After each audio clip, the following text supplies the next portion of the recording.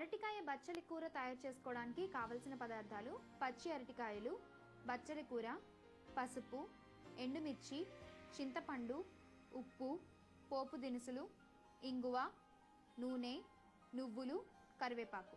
అరటికాయ బచ్చలి కూర తయారు చేసుకునే విధానం. ముందుగా స్టవ్ వెలిగించి పాన్ పెట్టుకుని రెండు మూడు టీ స్పూన్ల నూనె పోసి కాగాక కట్ చేసిన అరటికాయ ముక్కలు ఒక కప్పు రెండు కట్టల బచ్చలి కూర తరుగు ఒక కప్పు చింతపండు పులుసు వేసి మూత పెట్టి రెండు నిమిషాలు మగ్గించుకోవాలి. ఆ తర్వాత అందులో తగినంత ఉప్పు వేసి మరో రెండు నిమిషాలు మగ్గించాలి.